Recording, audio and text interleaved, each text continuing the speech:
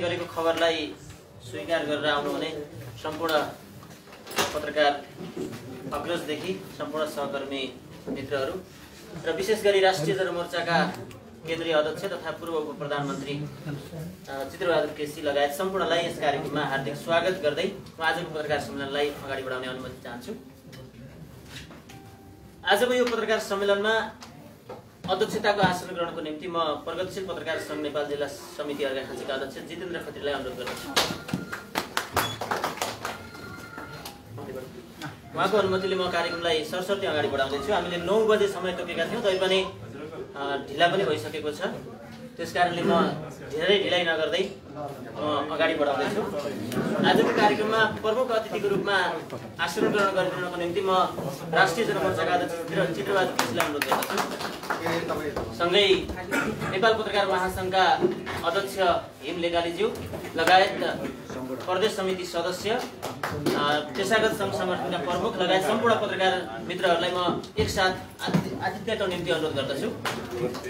र सँगसँगै अहिले देशको समसामयिक राजनैतिक परि परिदृश्यमा अर्घाखाँचीमा आउनुभएका नेपाल कम्युनिस्ट आन्दोलनका एक अथक धरोहरले यो विषयमा राष्ट्रिय जनमोर्चाको धारणा के हो र अब देशमा देश कतातिर जाने हो त भन्ने विषयमा आफ्ना धारणा राख्नुहुनेछ भनेर उहाँको धारणा र पार्टीको धारणा सार्वजनिक गर्नको निम्ति हामीले खास यो पत्रकार सम्मेलनको आयोजना गरेका हौँ। तसर्थ यो कार्यक्रममा आफ्ना महत्त्वपूर्ण भनाइहरू राखिदिनको निम्ति म प्रमुख अतिथि तथा राष्ट्रिय जनमोर्चाका अध्यक्ष चित्रबहादुर केसीज्यूलाई अनुरोध गर्दछु।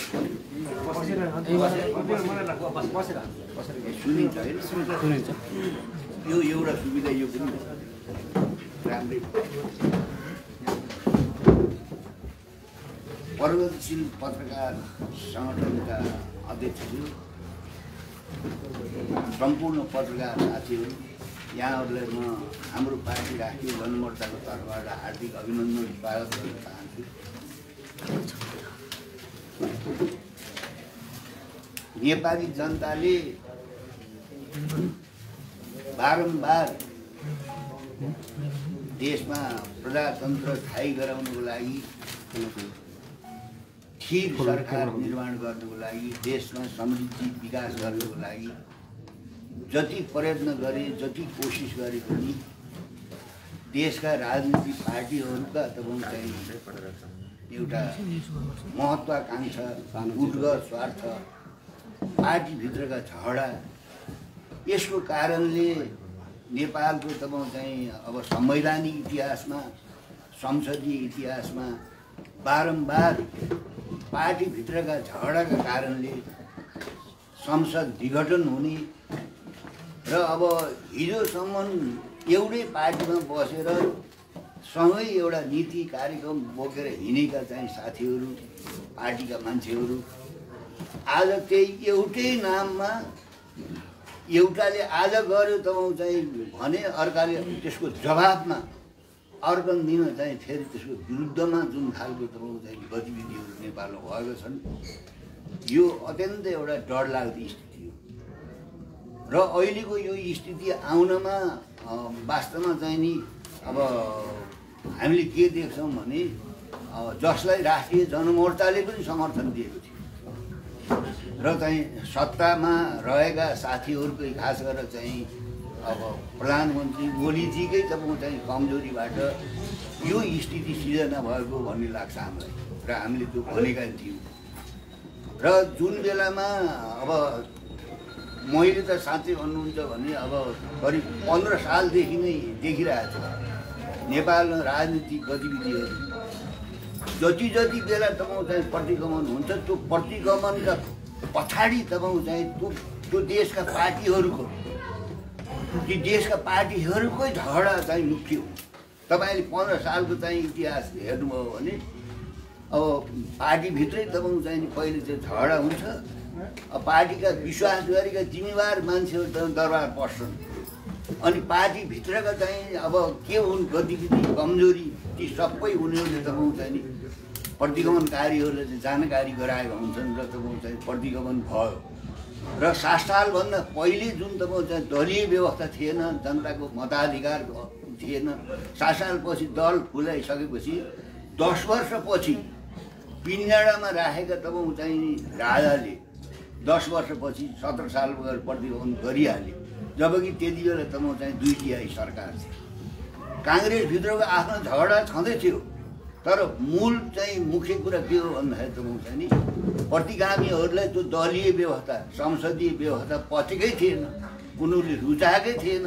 संसदको चुनावलाई चुनावमा गर्नेमा मन्जुरी दिनेमा जब चाहिँ यिनीहरू बहुमत आउन्न सरकार बने पनि यो अल्लो सरकार बन्छ भनेर चाहिँ अब चुनाव भयो पाँच सालमा दुई तिहाई आइदियो। दुई तिहाई आइदिएपछि म चाहिँ जब जनताले चुनेको प्रधानमन्त्री चाहिँ ठाउँ ठाउँमा चाहिँ हिँड्न थाले राजा महेन्द्र पनि सँगसँगै हिँडे जाँदा त म चाहिँ प्रधानमन्त्री गएँ त्यही गएँ र अर्को आश्चर्यको कुरा त म चाहिँ डाक्टर तुलसीगिरी जस्तो मान्छे त म चाहिँ विश्वबन्धु थापा जस्तो मान्छे त म चाहिँ स्वयं दरबार बसेँ। आफ्नो पार्टीलाई त नि खतम पार्नको लागि उनीहरूले निजी स्वार्थको लागि दरबार पसे विश्वबन्धु थापा त गृहमन्त्री पनि बने। तुलसीगिरी पटक पटक त मन्त्री परिषदको चाहिँ उपा अध्यक्ष उपाध्यक्ष पनि बने। र त्यस्तै गरेर तपाईँ हेर्दै जानुहुन्छ भने त्यो प्रतिगमनलाई नेपाली जनताले चाहिँ हराउन तिस वर्ष लड्नु। कैयौँ मान्छेहरू चाहिँ ज्यान गयो कैयौँ मान्छेले ज्यान फाले कैयौँको अंश सर्वस्व भयो कैयौँ चाहिँ जेल नेल पऱ्यो कैयौँ तपाईँको चाहिँ भूमिगत गर्नु पऱ्यो। तिस वर्ष लाग्यो चाहिँ चाहिँ सत्र सालको चाहिँ प्रतिगमनलाई चाहिँ सच्याउनु ठिक ठाउँमा ल्याउनु। त्यसरी सचिएपछि पनि त्यही प्रतिगमन विरोधी आन्दोलनमा लडेका मान्छेहरू तपाईँको चाहिँ नि जब अडतालिसमा चुनाव भयो एकाउन्नमै गएपछि के भयो भन्दाखेरि तपाईँलाई इतिहास थाहा छ। बजेट आउनुभन्दा पहिले पार्टीको त प्रधानमन्त्रीको तर्फबाट नीति र कार्यक्रम आउँछ। नीति र कार्यक्रम भनेको सालभरि चाहिँ सरकारको शिक्षा नीति के हुने स्वास्थ्य नीति के हुने परराष्ट्र नीति के हुने औद्योगिक नीति के हुने त्यो नीति र कार्यक्रम पहिले आउँछ। अब काङ्ग्रेसभित्र तपाईँको चाहिँ नि अब छत्तिस र चौहत्तरै थिए तपाईँलाई थाहा छ। छत्तिसको नेतृत्व खास गरेर तपाईँको चाहिँ नि स्वयं गणेश मानजीले तपाईँको चाहिँ कृष्ण प्रसादजीले गरिरहनु भएको छ। अब चौहत्तरीको तपाईँको चाहिँ नि नेतृत्व उता चाहिँ गिर्जाको थियो। नीति र कार्यक्रम चाहिँ पास नभइकन चाहिँ बजेट आउन सक्दैन थियो। बजेट तपाईँको चाहिँ त्यो नीति र कार्यक्रम फेल भएपछि बजेट ल्याउन नदिनलाई तपाईँको चाहिँ त्यो छत्तिसीहरू आफ्नो भागभन्ड नमिलिएको कारण पार्टीभित्र झगडाको कारणले तिस वर्ष लडेर ल्याएको त म चाहिँ नि बहुदलीय व्यवस्था संसदीय व्यवस्था त चाहिँ नीति र कार्यक्रम पारितै गरिदिएन छत्तिसीहरूले नीति र कार्यक्रम पास नभएपछि र आफ्नो पार्टीको झगडा भयो त गिले प्रसाद त म चाहिँ त्यो बहुमत प्रष्ट आएको त संसद विघटन गर्ने होइन नि गिले प्रसाद त म चाहिँ संसद विघटन गरिदिए संसद विघटन गरिदिएपछि त म चाहिँ नि मध्यावधिमा जानु पर्यो जबकि आफ्नो पार्टीको स्पष्ट बहुमत थियो। एउटा व्यक्तिलाई रिस उठ्यो भने एउटा व्यक्तिको विरुद्धमा पार्टीभित्र झगडा भयो भने त्यो जनताको चाहिँ संसदै खाइदिने मध्यावधिमा लैदिने। मध्यावधिमा लगेसम्म हुजुरबाजुर पऱ्यो सर्वोच्चले चाहिँ फैसला गरेर चाहिँ प्रधानमन्त्रीको अधिकार हुन्छ। संसद विघटन गर्नुपर्छ भनेर तपाईँ चाहिँ नि संसद तपाईँ चाहिँ नि विघटन भएपछि मध्यावधिमा गयो तर वास्तवमा त्यत्रो दुई झन्डै चाहिँ त्यो बहुमत भएको तपाईँ चाहिँ नेपाली कहाँ चुनावमा गए तपाईँ चाहिँ नि उसले तपाईँ एमालेको जति भोट पनि आएन बिग्रिहाल्यो नि छँदा छँदाको चाहिँ बहुमतको सरकार खतम पारेर एमाले त म चाहिँ नि संसदभित्रको ठुलो पार्टी त भयो तर उसको पनि त चाहिँ अब ठुलो बहुमत त थिएन। नौ महिना चाहिँ ढल्यो त्यो त्यो सरकार पनि ढल्यो। अब ढल्न थालेपछि मनमोहनजीले चाहिँ पुनर्स्थापनाको लागि चाहिँ मध्यावधिको लागि सिफारिस गर्नुभयो।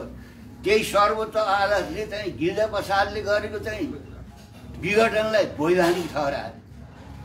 मनमोहनले गरेको सिफारिसलाई तपाईँ चाहिँ अवैधानिक ठहरायो अब न्यायपालिका पनि यस्तै थियो। त्यति बेलादेखि हाम्रो पार्टी राष्ट्रिय जनमोर्चाले प्रतिगमन खतरा दक्षर पनि छ है। यो संविधान छयालिस सालको संविधान त्यो व्यवस्था छ प्रधानमन्त्री चाहिँ संसद विघटन गर्ने। अब त्यो पन्ध्र सालको संविधानमा त्यो व्यवस्था छ त्यसलाई आधार बनाएर तपाईँ राजा महेन्द्रले त्यो गतिविधि गरे हुन्। सत्तालिस सालमा त्यो संविधान व्यवस्था छ। संवैधानिक राजतन्त्र भनेर चाहिँ जो व्यवस्था छ कुनै पनि बेला प्रतिगमन हुन्छ भनेर लड्ने चाहिँ हाम्रो पार्टी मात्रै अरूले खिचिदिउरी गरे। कहाँ प्रतिगमन हुन्छ? राजाको चाहिँ त्यो त अब आँट छैन महेन्द्र होइनन् अहिले वीरेन्द्रले होइन अब त्यस्तो गर्दैन भन्दै गए। राजदरबार हत्याकाण्डपछि ज्ञानेन्द्रको हातमा सत्ता गइसकेपछि तिस वर्षसम्म पञ्चायतमा रजाइ गरेर तपाईँको चाहिँ देश छोडेर श्रीलङ्का गएर तपाईँको चाहिँ क्रिस्चियन धर्म प्रचार गरेको चाहिँ डाक्टर तुलसी गिरी फर्काएर ल्याएर राजा ज्ञानेन्द्रले प्रतिगमन गरे तपाईँले देखिहाल्नुभयो त्यति बेला नि तपाईँको चाहिँ नि गिरिजा प्रसाद र शेरबहादुर चाहिँ बिचमा चाहिँ असाध्यै ठुलो झगडा भयो लडाइँ भयो भइसकेपछि शेरबहादुर त म चाहिँ ज्ञानेन्द्रलाई चाहिँ संसद बुझाइदिएँ। अहिले कतिपय त म चाहिँ नेपाली कहाँ साथीहरू के भन्छन् भने यी कम्युनिस्टहरू बदनाम हुन् यिनले गरेर खान्छन् यिनी फासिद हुन्। हामीले बिहोरेका छौँ नि। हामीले सत्र सालभन्दा पहिले के के भयो त्यो पार्टीभित्र त्यस्तै तपाईँको नि पछि पनि के के भयो हामीले बिहोरेका छौँ देखेका छौँ नि।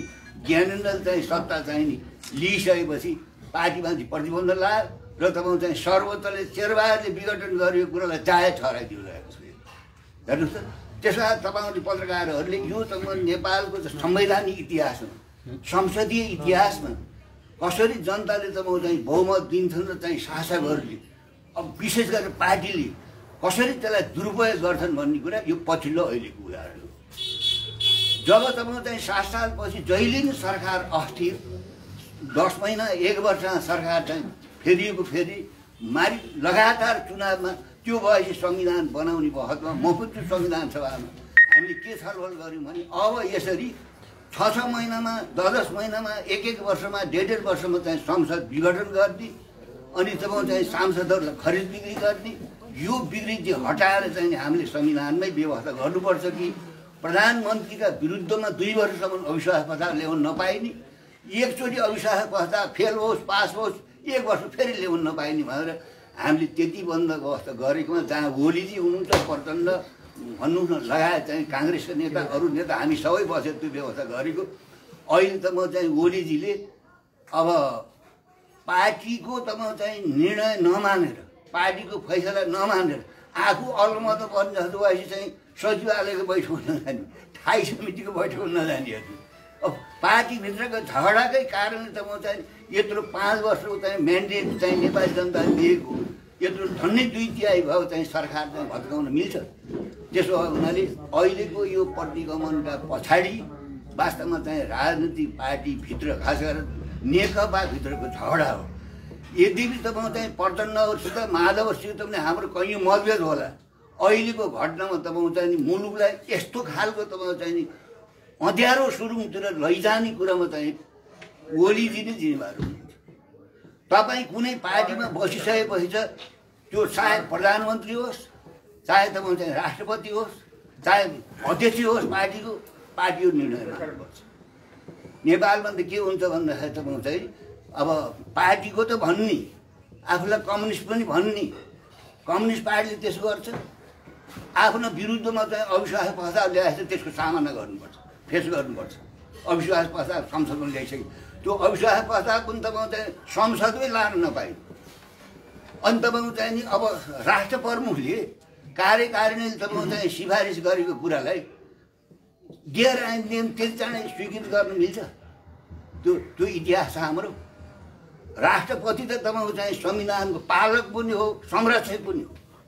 जब तपाईँ चाहिँ कार्यकारिणी त्यो सिफारिस गइसकेपछि बहत्तर घन्टा तपाईँ चाहिँ राष्ट्रपतिले त्यो चाहिँ त्यो विधेयकलाई त्यो अध्यादेशलाई रोकेर राख्न सक्ने अधिकार छ संविधानमा। र तपाईँको चाहिँ नि कानुनविद संविधानविद विपक्षीहरूलाई पनि यो चाहिँ स्वीकृति गर्न चाहिँ मिल्छै मिल्दैन। भनेर स्वीकृति गर्न नमिल्ने जस्तो भयो तपाईँ चाहिँ फेरि कार्यकारिणी कहाँ फिर्ता गर्न सकिन्छ। हेर्नुहोस् त समावेश संसदको बैठक बोलाउनको लागि चाहिँ तिरासी तिरासीजना सांसद गएर छ छ घन्टा चाहिँ शीतल निवास धर्ना टिकेर बसाएर भेट नदिने। कुराकानी सम्पर्क नराख्ने चिया लागेको कुरा आएको वास्तै नगर्ने। ल भन्नुहोस्। एउटा प्रधानमन्त्रीले सिफारिस गर्ने बित्तिकै दिएर आइन दिन कुनै विचार नगरिकन त्यसो गर्न पाइन्छ। राष्ट्र प्रमुखले त्यस्तो गर्नु पाइन्छ।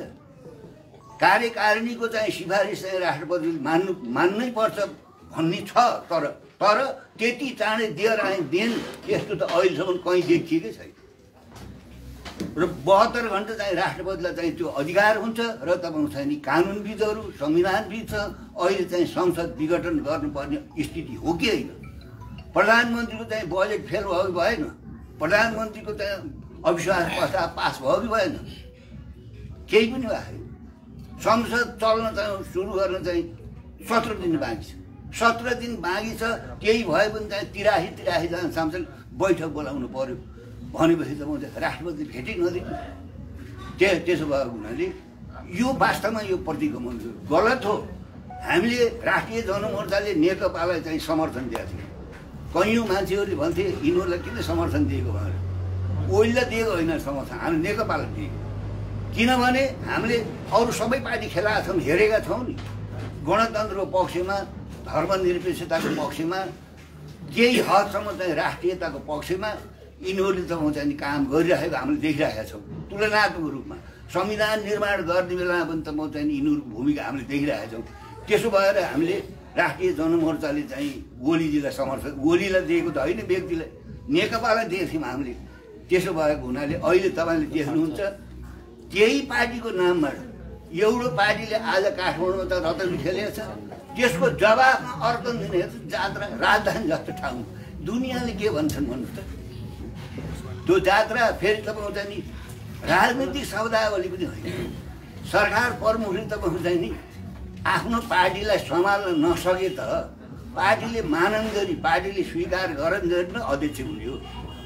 पार्टीले प्रधानमन्त्री बनाइसकेपछि पार्टीले रुचि नराखेर पार्टीले त चाहिँ हटाउनु भयो त हट्नुपर्छ नि। नहट्ने ल नहट्ने आफ्नो चाहिँ बहुमत आउने जस्तो भयो भने सचिवालयमा जाने। स्थायी समितिको बैठक जाने। बहुमत नआउने जस्तो भयो भने नजाने त्यस्तो हुन्छ पार्टी। घरैमा पनि झगडा हुन्छ त्यसको समस्या समाधान हुने पद्धति छ। छिमेकीसँग झगडा हुन्छ त्यसको पनि पद्धति छ। पार्टीभित्रका अन्तर सङ्घर्ष हुन्छन् झगडा हुन्छन् कलह हुन्छ। मैले पनि पचास साठी वर्ष पार्टी खेला चलाएरै आएको छु। मैले पनि सामना गरेको छु। तर त्यसको पद्धति हुन्छ। र चाहिँ जुनसुकै पार्टीमा तपाईँको चाहिँ नि बहुमतको निर्णय अलमतले मान्नै पर्छ चित्त बुझे पनि नबुझे पनि जब चाहिँ आफ्नो विरुद्धमा तपाईँको चाहिँ आक्षेप आयो जस्तो प्रचण्डजीको चाहिँ आक्षेप पत्र आएछ कति उन्नाइस पेजकै कति छ भने उन्नाइसवटा पोइन्ट के भने त्यो हो कि होइन त्यसको सामना गर्नु पऱ्यो नि बैठकमा पार्टीको बैठकमा। अनि त्यो अविश्वास प्रस्ताव चाहिँ ल्याउन पाउने अधिकार हुन्छ नि सांसदहरूको त आफ्नै नेताको विरुद्ध पाइन्छ त्यो लिन पाइन्छ चित्त नबुझी लिन पाइयो नि। त्यसको त सामना गर्ने नि संसदमा गएर। आवश्यक परे त म चाहिँ नैतिकता हिसाबले छोडिदिनु नि प्रधानमन्त्री पद बोल्नु या त यो जात्रा। त्यसो भएको हुनाले यो गतिविधिले यो गतिविधिले के देखाएको छ भन्दाखेरि देशको राष्ट्रियता सार्वभौमता र अखण्डतामा समेतमा आज आउने स्थिति चाहिँ सिर्जना भइरहेछ। त्यसो हुनाले अब अहिले राष्ट्रिय जनमोर्चाको चाहिँ भनाइ के हो भने नेपालको संसद विघटन गर्ने चाहिँ इतिहासमा राजा महेन्द्रले त म चाहिँ संविधानमा व्यवस्था गरेका थिए संसद विघटन गर्न पाउने संविधानको चाहिँ पन्ध्र सालको संविधानको धारा पचपन्नमा तपाईँले हेर्नुभयो भने त म चाहिँ नि देशको कुनै कुना काप्चामा गडबड भयो आर्थिक सङ्कट पऱ्यो भने राजाले तल्लो उपल्लो सदन विघटन गर्न पाउने व्यवस्था चाहिँ गरिदिएछन् किन? दरबारीहरूले बनाएको संविधान थियो त्यो पन्ध्र सालको संविधान। त्यसैलाई टेकेर चाहिँ उनी विघटन गरे सत्तालिस सालको संविधानमा के छ भने प्रधानमन्त्रीले तपाईँको चाहिँ संसद विघटन गर्ने त्यहाँ व्यवस्था छ।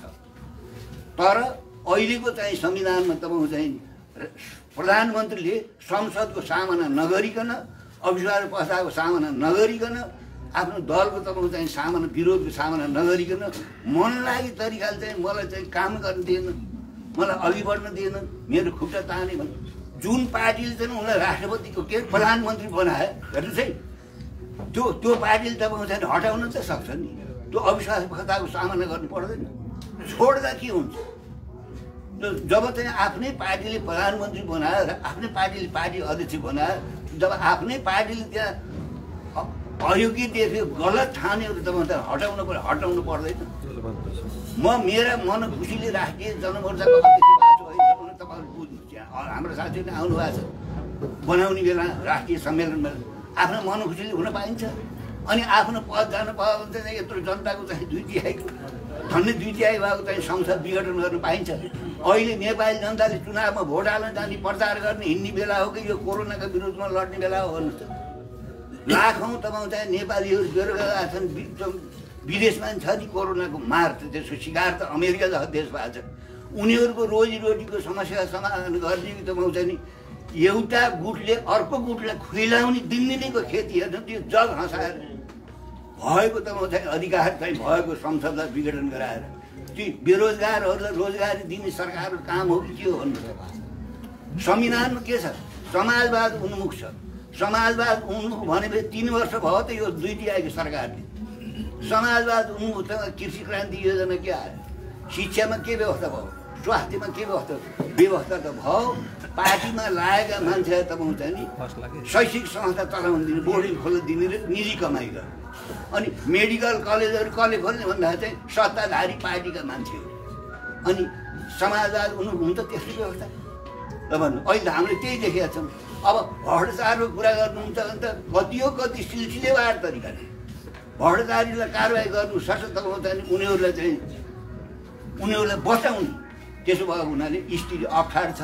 अहिले पनि नेपालका चाहिँ खास गरेर अब प्रचण्ड माधव पक्ष र तपाईँ चाहिँ नेपाली काङ्ग्रेसले आदि आदि भन्नु नेपाली काङ्ग्रेसले एक थरी तपाईँ चाहिँ चुनावमा गएर चाहिँ फाइदा उठाउने चाहिँ त्यो हिसाब छ त्यही रहेछन् एक थरी चाहिँ संसद पुनस्थापना हुनुपर्छ भनेको छ। संसद पुनस्थापना भयो भने कमसेकम चुनावमा लाग्ने चाहिँ अर्बौँ खर्चबाट चाहिँ जनताको राष्ट्रको चाहिँ राष्ट्र बच्छ चुनाव त्यो तपाईँको चाहिँ निर्वाचन आयोगले बेसी मागिसकेको छ सुरक्षा निकाय तपाईँको चाहिँ साढे बाह्र अरब रुपियाँ ल्याऊ भनिसकेको छ ल भन्नुहोस् अहिले पनि नेपालमा तिरासी प्रतिशत तपाईँको चाहिँ साधारण खर्च हुन्छ नेपालमा सत्र प्रतिशत विकास खर्च विकास निर्माण खर्च देश चल्छ त्यसो भएको हुनाले हाम्रो राष्ट्रिय जनमोर्चा भनाइ के हो भने जसरी तपाईँको चाहिँ नि पैँतालिस सालमा छयालिस सालमा तपाईँको चाहिँ नि गणेश मानको नेतृत्वमा सबै पार्टीहरू संयुक्त भएर पञ्चायतलाई चाहिँ हराएर छाड्ने काम भयो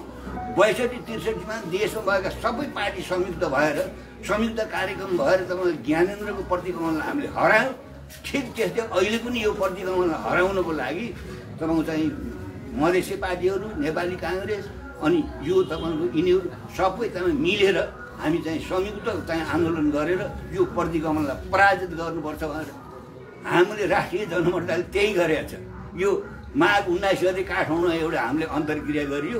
यी ठुला पार्टीलाई मधेसी समेत राखेर हामीले एउटा अन्तर्क्रियासम्म गर्न गरियो। हिचकिचाएको छ यिनीहरू के का डरले हो? प्रमुख प्रतिपक्षी पनि तपाईँको चाहिँ डराइरहेको छ। केन्द्रीय रूपमा सहकारी गरेर प्रतिगमनलाई धुलो चटाउनु पर्छ भन्दा सुनिरहेको छैन। उनीहरूलाई कहाँको डर हो? कसको डरले उनीहरूले चाहिँ संयुक्त कार्यक्रम मानिरहेका छैन अनि नेकपाको चाहिँ प्रचण्ड माधव समूहले तपाईँको चाहिँ स्थानीय अब चाहिँ त्यो संयुक्त रूपमा जाने कुरामा चाहिँ उनीहरू पनि हिचकिचाइरहेको यसरी त तपाईँको चाहिँ प्रतिगमनले चाहिँ सिट ठाडो गराए गराए हुन्छ त्यसो हुनाले राष्ट्रिय जनमतको नीति के छ भने सम्भव हुन्छ भने हामीले हिजोको प्रतिगमन विरोधी आन्दोलनमा जो जो लड्यौँ फेरि पनि हामी संयुक्त भएर प्रतिगमनलाई पराजित गरौँ। यदि होइन सक्दैनौँ तिमीहरूलाई अप्ठ्यारो छ। होइन?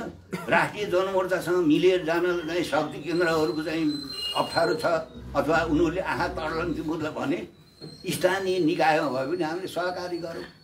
तर प्रतिगमनलाई चाहिँ सच्याउने धुलो चटाउने कुरामा हामी नमिली हुन्न। अस्ति हामीले माघ उन्नाइस गति काठमाडौँमा हार्दिकमा जुन अन्तर्क्रिया कार्यक्रम राख्यो त्यहाँ चाहिँ आए नेपाली काङ्ग्रेसबाट पनि जिम्मेवार नेता आए केन्द्रीय नेता मधेसबाट पनि उपेन्द्र यादवै त्यहाँ भाग लिन आए। पाँच सातवटा चाहिँ स्थापित वकिलहरू आए। त्यहाँ चाहिँ संयुक्त मोर्चा भयो त्यो अन्तर्क्रियामा। यही काम हामीले तल गर्नुपर्छ। र जनताले तपाईँको चाहिँ नि अहिले जनताको चुनावमा जाने मत छैन। फेरि नेपालको जनमत त कस्तो हो भने संसद विघटन गरेर यत्रो बदमासी गर्ने चाहिँ सिसी बजाएर त म चाहिँ ल आइद भने पनि त्यहाँ हजारौँ गएर थपरी मारे हाल्ने यो प्रतिगमनको विरुद्धमा जानुपर्छ भने त्यहाँ पनि गएर थपरी मार्छ। हिजो म चाहिँ बुटोललाई आउँदाखेरि तपाईँको चाहिँ नि एक गते कि कहिले चाहिँ प्रधानमन्त्री बुटोलमा के कार्यक्रम रहेछ प्रत्येक त्यो बाटाका लाइनमा तपाईँको चाहिँ सयौँ सयौँ तपाईँको चाहिँ मोटरसाइकलवाला त्यहाँ तेल हाल्न बसिरहेको छ लाइन त्यहाँ झन्डा पैसा चढाउँछ सूर्य पनि समाधान चिन्नुहुँदैन तेलको लाइनमा छन् मलाई त्यहाँ हाँसो गरे साथीहरूले यिनी तेल हालेर चाहिँ कार्यक्रममा जाने होइन यिनी त घरै जान्छन्। तेल त बरमा खुल्यो त त्यहाँ। अन्ताबाट बेसाएर ल्याएर तेल हेर्नु त त्यो तपाईँ हाम्रो सम्पत्तिको दोहन होइन त्यहाँ। म चाहिँ बुटोलबाट चाहिँ यहाँ गोरुसिङीसम्म आउँदाखेरि जहाँ चाहिँ पेट्रोल पम्प छ बाटोमा यत्तिकै छ त म चाहिँ मान्छेले घेरे त्यहाँ पेट्रोल हाल्नलाई आफ्नो मोटरसाइकल गाडीमा। त्यो कसको सम्पत्ति हो त्यो? ओलीजीले हापाहाट ल्याएको पेट्रोल पम्प हो त्यो। उहाँ ल्याएर भरिदिएको तेल हो त्यो। त्यो पर्सिया कार्य राष्ट्रको ढुकुडी यस्तै तपाईँ चाहिँ बर्बाद गरेर धुलो पिठो पारेर अरू सबै विकास निर्माण चौपट छ। धुलो पारेर चाहिँ नि। प्रचण्डलाई जवाफ दिने ओलीले ओलीलाई जवाफ दिने प्रचण्ड महालव गाई त। त्यसो भएर जे जे मन लाग्छ त्यही भन्ने बैठकमा पनि हिजो तपाईँ चाहिँ पार्टी एकता गर्दाखेरि कति सजिलै गरी गरेका थियो उनीहरूले दुईवटाले सल्लाह गरेपछि त आठ लाखले मान्ने सिरो पर गर्ने भनेर भनेको ल दुईवटा अध्यक्ष किन बाउतो भयो सोधे नि पत्रकारले यो त स्योर जे ढाक्नु पर्ने नि दुईवटा पाइलट राखेको भनेर गफ लाग्यो। अनि टेम्पो चलाउनु भयो एउटा ड्राइभर भने अस्ति हेर्नुहोस् त्यो पिर्ती यति चाँडै चकनाचु यो के हो भन्दाखेरि तपाईँ चाहिँ सिद्धान्तको राजनीति गर्न न पऱ्यो नैतिकताको राजनीति गर्नु पऱ्यो इमान्दारीको राजनीति गर्नु पऱ्यो नि जनता र राष्ट्रको लागि गर्ने राजनीति गर्नेले यस्तै गर्छन्। कम्युनिस्ट पार्टी भएको भए कम्युनिस्ट पार्टीले यस्तै गर्छन्। बरु कम्युनिस्ट विरोधीहरूले तपाईँ चाहिँ अहिले उडायो के हो भने यिनैलाई कम्युनिस्ट बनाएर कम्युनिस्टहरू यस्ता हुन्छन्। काङ्ग्रेसको इतिहास थाहा छैन हामीलाई गिर्जाको फाँसी तपाईँ चाहिँ शासन प्युठानमा एउटा मान्छे मऱ्यो त्यहाँ स्कुलको हिसाब किताब गर्न जाँदाखेरि मसालका एक सयजनाले तपाईँ तारिक लगायो त्यो फाँसी नीति होइन। बौद्ध ल्याउन म पनि लडिरहेको छु पचास सालमा रोडमा गएर त म चाहिँ नि म हराएर बर्मन बुढा सांसद थिएँ। म त्यहाँ पुग्न बित्तिकै समाते त नि यो चाहिँ हाम्रो विरोध गर्न आएको भनेर त्यही त्यसमा आफ्नो इतिहास बिर्छ नि शेरबहाजीले होइन हुँदा खाँदाको बहुमत संसदलाई ज्ञानेन्द्रलाई बुझाएको। उहाँहरूले अहिले चाहिँ के भन्दाखेरि आफू सत्तामा भएको बेला यस्तो कहिले नगरे जस्तो गरेर र अहिले यिनी चाहिँ कम्युनिस्ट भनेका यस्ता हुन्छन्। कम्युनिस्ट भनेका फाँसी हुन्छन्। कम्युनिस्ट भनेका गलत पहिलो कुरा त ओलीजीले इमान्दारीपूर्वक चाहिँ भन्नुभएको छ चौहत्तर हामी कम्युनिस्ट होइनौँ है। यो त ट्रेडमार्क हो भनेपछि। उनीहरूले जो जसले हामी कम्युनिस्ट होइन भनेको छ ती बाहिरकालाई ती बाहिरकालाई यिनी कम्युनिस्ट भनेर त्यो कम्युनिस्टको चाहिँ बदनाम गरेर भोलि आउने सच्चा कम्युनिस्टलाई पनि तपाईँ एक यस्तै हुन्छन् सबै। अहिलेको नेकपा जस्तै सबै हुन् भनेर जुन खालको बदनाम गरेका छन् त्यो गलत हो। स कसैले कुराकानी गर्दाखेरि तपाईँ आफ्नो पनि इतिहास हेर्नुपर्छ। बारम्बार तपाईँ चाहिने संसदलाई विघटन गरेर बारम्बार पार्टीभित्रको झगडा समाधान गर्न नसकेर बारम्बार तपाईँ चाहिँ विदेशी खेलाउन भएर जुन गरे त्यो इतिहास अहिले पनि दोहोरिएको छ। त्यसो भएको हुनाले मैले साथीहरूलाई के भन्छु भने अहिलेको निकास भनेको संसद पुनस्थापनै हो। प्रधानमन्त्रीले निर्वाचन आयोग गएर मै हुँ आधिकारिक अध्यक्ष। मेरै हो यो चुनाव भन्न पाइन्छ। के भन्छ निर्वाचन आयोग भन्छु त? महिला जिताउनुपर्छ भन्न पाइन्छ राष्ट्र सरकार बढ्नु। ऊ त्यो भन्ने बेला फेरि स्वतन्त्र न्यायालय भन्नु। निर्वाचन आयोगलाई स्वतन्त्र पाइन्छ त्यसो भन्नु भन्नु। जे गर्ने निर्वाचन आयोगले गर्ला। नि गर्ने के फेरि? अब दुइटैले चाहिँ हामी वैधानिक भनिरहेका छन् त्यो निर्वाचन आयोगलाई त मद्दत गर्नुपर्छ होला नि। वैधानिक को हो को हो? को हो वैधानिक? समस्या छ। अब सर्वोच्च अनि मुद्दा यो किन भनिरहेका छन्? यसरी दुई थरले उहाँहरू भन्दाखेरि त्यो त भाग भण्डमा हो। कुरा त कुरा गरेर मन चित्त फाट्ने। नाच जस्तो नाच गरौँ भने घागर फाट्ने।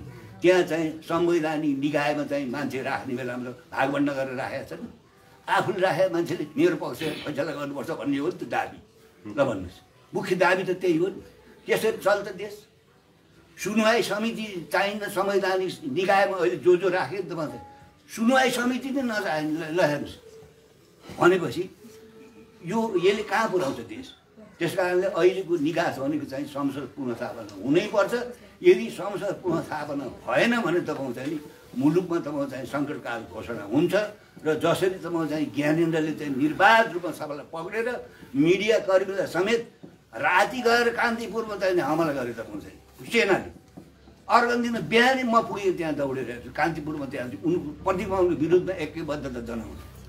फेरि पनि सबै पत्रकार साथीहरूले तपाईँ चाहिँ विचार गर्नुहोस् यो प्रतिगमन अहिले हामीले संसद पुनस्थापना गराएनौँ भने सत्ताधारीहरूले हिजो तपाईँ चाहिँ रामकुमार झाँदलाई समाप्त गर्नुको अर्थ के?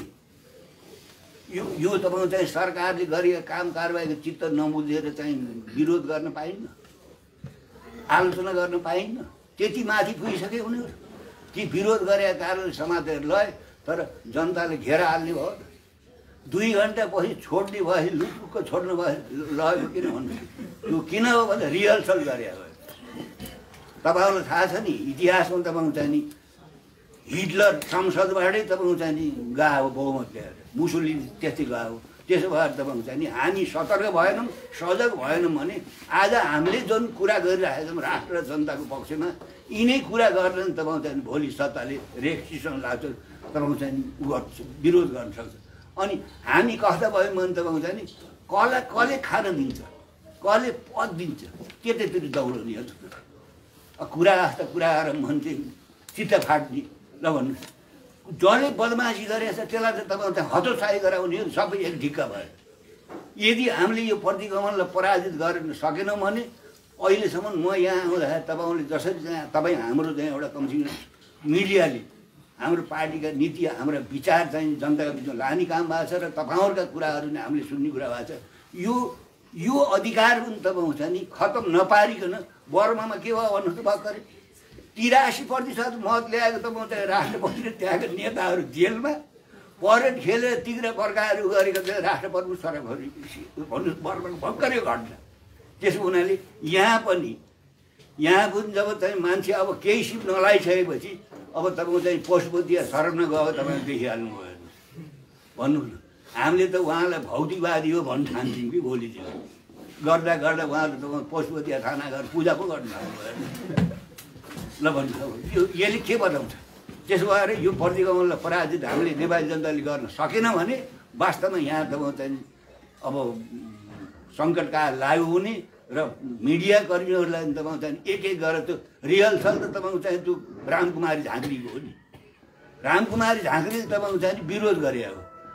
राष्ट्र प्रमुखले राष्ट्र प्रमुखले तपाईँको चाहिँ नि तिरासीजना सांसद जाएर छ घन्टा कुर्दा भेट नगर्ने अनि प्रधानमन्त्रीले चाहिँ पठाएको चाहिँ अध्यादेशलाई तपाईँ सेकेन्ड भर निमेष भरमा चाहिँ स्वीकृति गरेर पठाउनु पाइन्छ। त्यही गर्नु हो राष्ट्रपति बनायो ल भन्नुहोस्। अनि त्यो चाहिँ अविश्वास प्रस्ताव चाहिँ दस बजे दर्ता हुन्छ संसदमा। त्यो चाहिँ अविश्वास प्रस्ताव दस बजेसम्म तिन बजे दर्ता गर्दैन हेर्नु सब सचिवालय संसद सचिवालयले बदमा त्यसो गर्न पाइन्छ। त्यो यदि दस बजे नै त्यो अविश्वास प्रस्ताव दर्ता भएको भए संसद विघटन गर्न पाइन्थेन त्यो मनमोहनजीलाई एकाउन्न सालमा तपाईँको चाहिँ तिम्रो बाउन्न साल अवैध भएको चाहिँ संसद त्यो अविश्वास प्रस्ताव दर्ता भएपछि तिमीले चाहिँ विघटन गरे हुनाले त्यो बेठी त्यही आधारमा हो नि? पुनर्स्थापना गरे। ल हेर्नु। दस बजेको गएको अविश्वास प्रस्तावलाई दर्ता गरे संसद विघटन गर्न पाइन्थेन तिन बजे गरिदिए कर्मचारीहरू त्यसो भएको हुनाले यो बहुदलीय व्यवस्था कमसेकम सीमित अर्थमा जनताको लेख्ने बोल्ने सभा सङ्गठन गर्ने सरकारमा आलोचना गर्ने विरोध गर्ने जुन अधिकार छ यसलाई पनि शासकहरूले कुण्ठित गर्नुको लागि बारम्बार षड्यन्त्र गरिरहन्छन्। त्यस कारणले यो यो अहिलेको घटना असंवैधानिक हो अप्रजातान्त्रिक हो अलोकतान्त्रिक हो। यसलाई चाहिँ पराजित गर्नैपर्छ र यसको लागि चाहिँ नि हामी सबै क्षेत्रबाट एक ढिका हुनुपर्छ। र अब यसो गर्दा चाहिँ संसद विघटन गर्दा पनि त्यसलाई ताली मार्ने अहिले त म चाहिँ खतरा के छ भन्नुहुन्छ नि? दरबारीहरू हिजो तिस वर्षसम्म पञ्चायत कालमा अनगिन्ती मान्छेको हत्या गरेका अनगिन्ती चाहिँ बदमासी गरेका अनि चाहिँ सिंहासनमा बसेका आडमा चाहिँ कैयौँ चाहिँ भारदारहरू चाहिँ भ्रष्टाचार गरेका लुट गरेका आज संसद विघटनको पक्षमा त म चाहिँ सर्वोच्चमा दरबारियाहरू आएर चाहिँ वकालत गरे गरेछन् संविधानमै नभएको व्यवस्था चाहिँ अन्तर्राष्ट्रिय नियमअनुसार प्रधानमन्त्रीले संसद विघटन गर्नुपर्छ निरर्थक तर्क गणतन्त्रमाथि खतरा एकातिर दरबारीहरूबाट छ हेर्नुहोस्। अर्कोतिर चाहिँ सङ्कीर्ण चाहिँ वामपन्थीहरूबाट छ हेर्नुहोस्। के किनभने उनीहरूले अहिले के भनिरहेको छ भने यो संसद गणतन्त्र गएर के भयो त भनिरहेको छ। त्यसै आएको गणतन्त्र। ल भन्नुहोस्। तपाईँहरू त कतिपय नयाँ साथीहरू त्यो गणतन्त्र ल्याउने लडाइँमा कतिजना ज्यान फाले भन्नुहोस् कतिजना झेल खानु बसे? कतिजनाको सर्वस्व भयो यही गणतन्त्रले नेपाली जनताको आधारभूत समस्या समाधान गर्छ भन्ने पक्ष हामी पनि छैन। योभन्दा पनि राम्रो व्यवस्था छ दुनियाँमा। ल्याउनुपर्छ। तर अहिलेको बहसमा तपाईँको चाहिँ तपाईँले गणतन्त्रै सिद्ध्याउनु भयो अन्त धर्मनिरपेक्षतै सिद्ध्याउनु भयो भने के हुन्छ भन्नुहोस् त? यही सिद्ध्याउनुको लागि त म भदौदेखि चार खेप मान्छे आएछन् दक्षिणतिर। हामीले तपाईँ कालो पानी लिपि लिम्किया धुरा हामीले चाहिँ नेपालको नक्सा राखेपछि उनीहरूसित चाहिँ भारतीय शासकहरूसँग हामीले वार्ता गर्न खोज्दाखेरि मरे पनि दिएनन् वार्ता गर्न। कोरोना जाहो र हामीले कुरा गरौँ भने होइन ल हेर्नुहोस्। जब चाहिँ नेकपाभित्र झगडा बढ्दै गयो त्यसो भए तपाईँ चाहिँ भारतको तपाईँको चाहिँ यो यो सिआइडी विभाग प्रमुख सामन्त गोयल आएर तिन घन्टा प्रधानमन्त्रीसँग छलफल गर्छन् नारायण के अरे बालुटारमा भन्नुहुन्छ त्यो पार्टीका मान्छे थाहा पाउनु नहुने। त्यो मन्त्री मण्डलमा बसे अरू मान्छे थाहा पाउनु त्यस्तो हुन्छ। ल भन्नु। चार खेप आएको छन् त्यसै भएको छ यो घटना। भारतबाट चार खेप छ र तपाईँको चाहिँ नि के के बुझेका छन् भारतीयहरूले भनेर भन्दाखेरि नेपालीहरू खास गरेर नेकपाको यस्तो लडाइँमा यही बेला हो।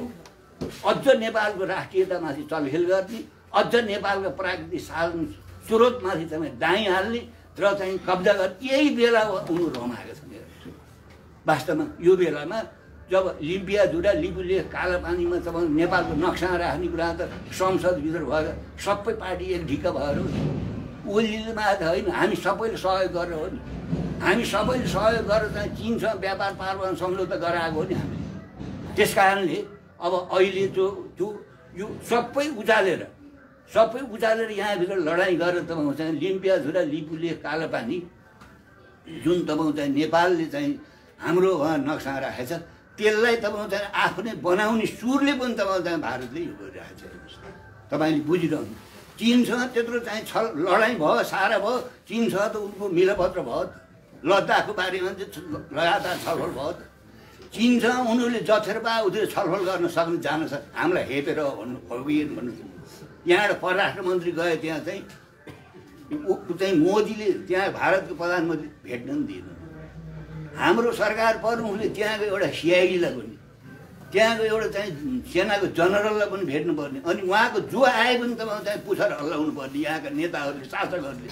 अनि हाम्रा मन्त्रीहरू त्यहाँ जाँदा तपाईँ चाहिँ प्रधानमन्त्री भेटसम्म नदिने भनेपछि हाम्रो हामीमाथि हेपा कति हो भन्नुहोस् त। चाइनासँग त उनीहरू वार्ता गरे त बारम्बार। अस्ट्रेलियासित त गरे त अरूसित त गर्छन्।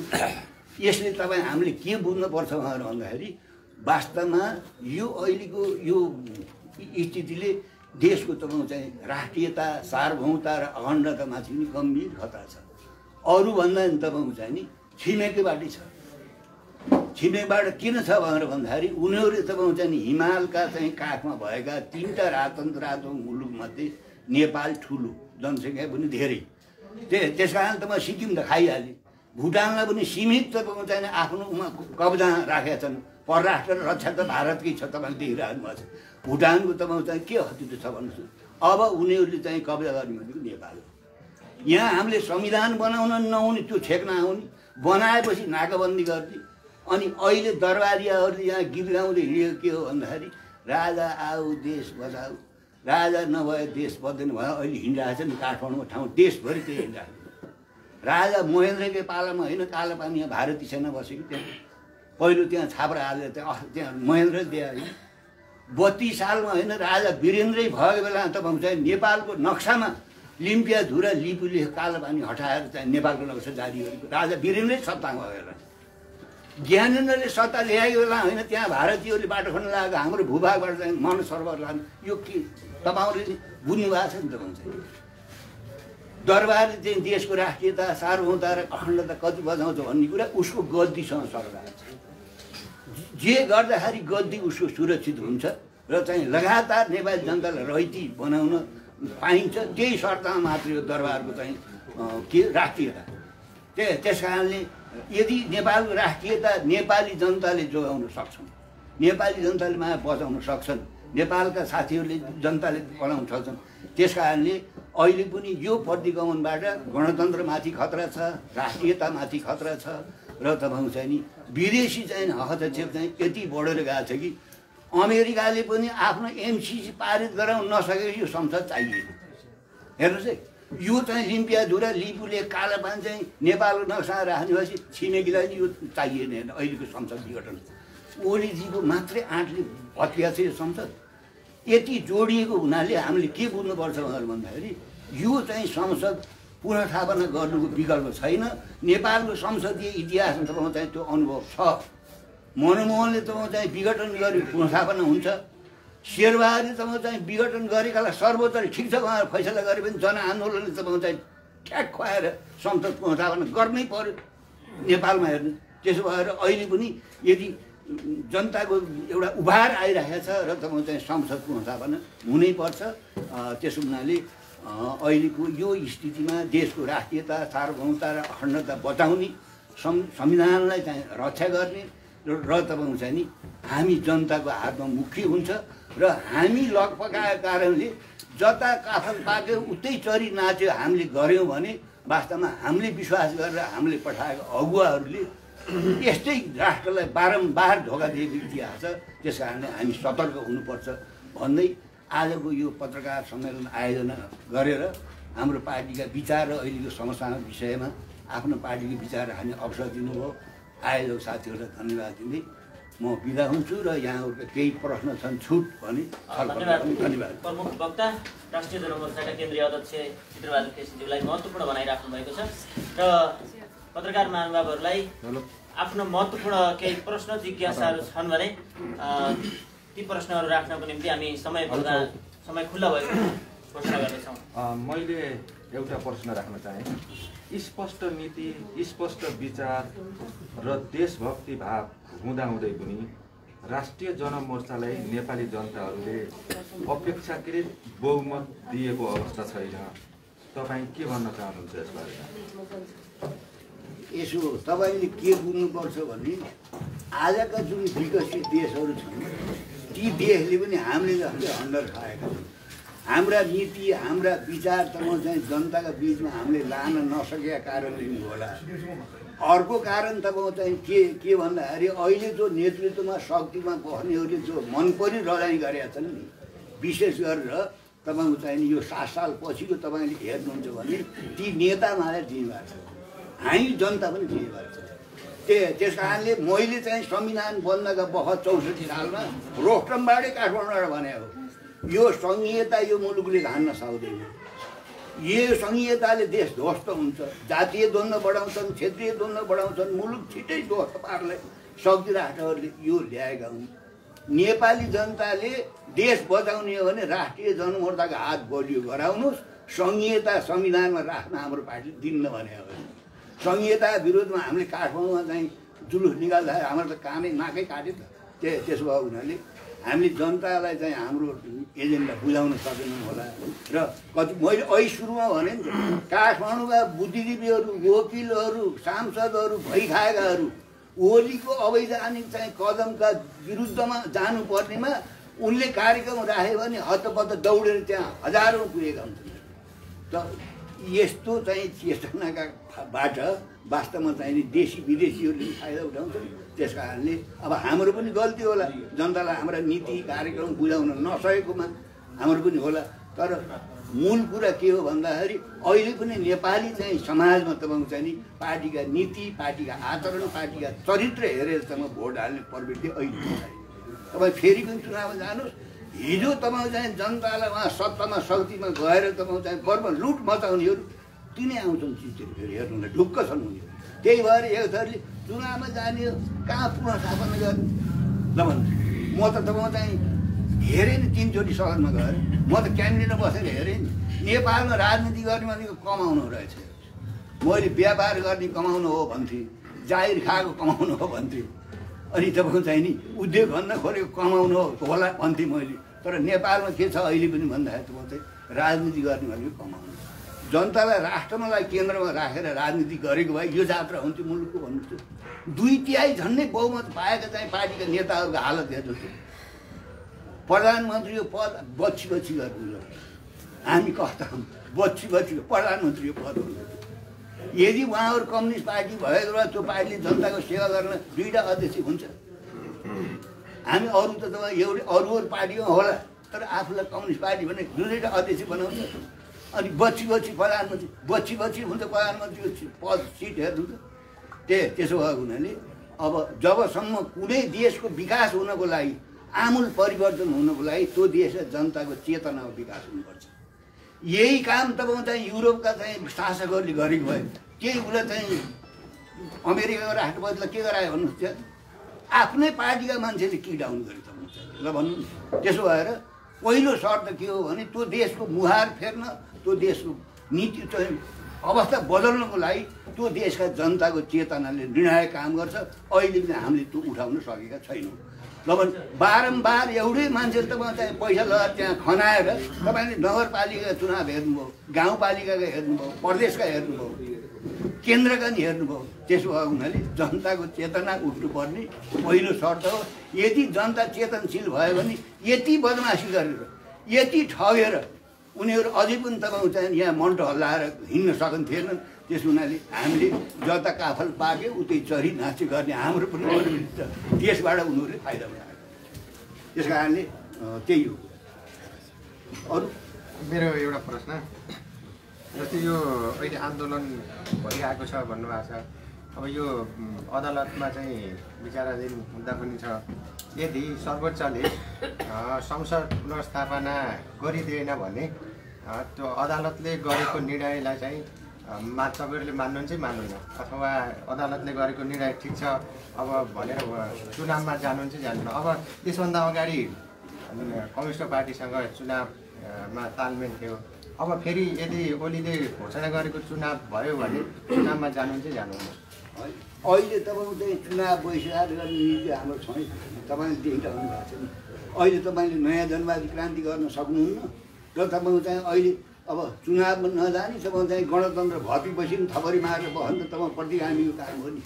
त्यस कारणले सर्वोच्चले चाहिँ शेरबहादुरले विघटन गरेको संसदलाई सर्वोच्चले ठिक छ भनेर फैसला गरेको होइन। तपाईँले के बुझ्नुहोस् भने कुनै पनि देशको तपाईँको चाहिँ त्यो तपाईँको चाहिँ नि शक्ति भनेको त्यो देशको जनता।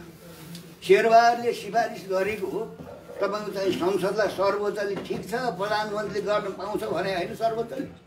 त्यस हुनाले सर्वोच्च अथवा निर्वाचन आयोग यिनी त संवैधानिक अङ्ग हुन्।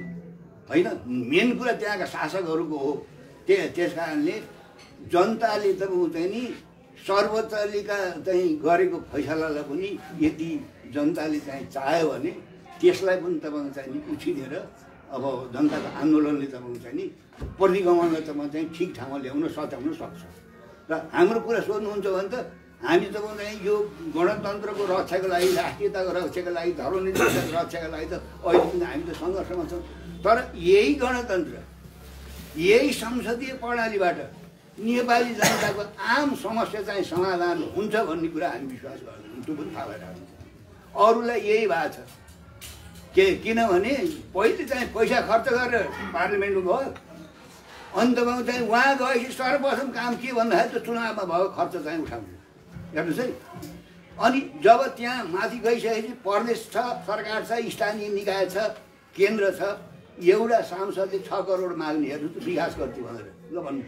त्यो त्यसो भएको हुनाले हामीले के बुझ्नुपर्छ भने संसारभरको तपाईँ चाहिँ संसदीय व्यवस्था जहाँ जनता अलिकति कन्सस छन् त्यहाँ शासकहरूले त्यति बदमासी गर्न पाइरहेका छैनन् तिनलाई समात्छन् हाम्रो देशमा त म चाहिँ संसदीय व्यवस्था चाहिँ नि अलिकति एउटा राम्रो रूप लिएर अगाडि बढ्न सकेको छैन त्यस कारणले यो संसदीय व्यवस्था वास्तवमा संसारभरि बदनाम भइसक्यो त्यो बदनाम भइसके हुनाले शासकहरूले चाहिँ उसका मना लाउने बित्तिकै संसद विघटन गर्न नपाइने चाहिँ व्यवस्था पनि बन्दै गएको छ त्यही भएर हामीले सुधारिएको संसद भनेको त्यही हो। अब अब गणतन्त्रलाई खतरा चाहिँ एउटा त हिजोका तपाईँ चाहिँ प्रतिगामीहरू दरबारीहरूबाट छ। अरू कुरा तपाईँ चाहिँ सङ्कीर्ण तपाईँ चाहिँ नि वामपन्थीहरूबाट पनि गणतन्त्र चाहिँ गएर के भयो? यो जसले यो गणतन्त्र ल्याएको यो गणतन्त्रको लागि जसले चाहिँ जेल जेल खायो जसले लडाइँ गर्यो उसलाई नै हो।